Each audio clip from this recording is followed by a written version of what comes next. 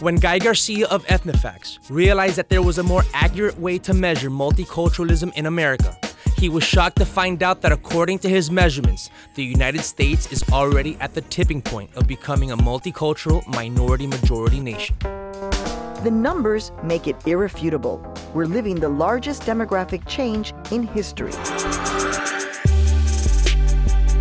What has happened over time is the awareness that um, almost 100% of the growth in some cases for any business is coming from Hispanics and other multicultural groups. They're not really sure what to do about it. They're not sure how to understand or interpret. You know, they're, they're challenged with making sense out of this information. What are the implications? Cultural, social, economic. These are all categories that we examine through data. The new mainstream is the combination of great demographic changes, explosions in the populations of African Americans, Asians, and Latinos, even to a certain extent women, young people, LGBT. So one of the recent things we did that got a lot of uh, attention was called the Culture Edge Countdown Clock. And we announced uh, a new threshold, uh, a tipping point of the United States as a multicultural majority country.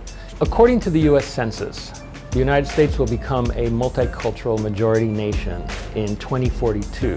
What we did with the Culture Edge Interethnic Proximity Index is include people who, including non-Hispanic whites, who cohabitate with people of other races and ethnicities, who live in areas with a high density and proximity to these people.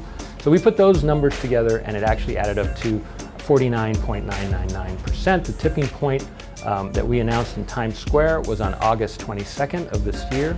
So the definition of what is American is, is changing. 110 million African Americans, Asians, and Hispanics with buying power that exceeds $2 trillion. The truth is, is that things are going to change numerically. And we know that with that change, there comes power shift. We have been part of this country for decades, for centuries. What we're saying is that something is going to change by the numbers demographically.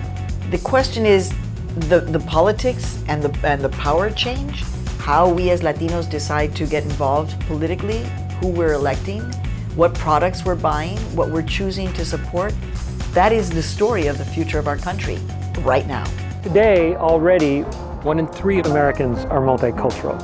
When you look at the population under 18, it's already closer to a one-to-one -one ratio. The powers that be own the numbers. We couldn't argue. Guess what? Now we can. This is a big deal. We can also own the numbers. Once you own the numbers, you can, you can actually shape the narrative.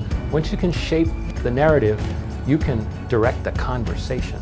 Some people will be upset, some people will push back, some people will try to cover this up, ignore it, you name it.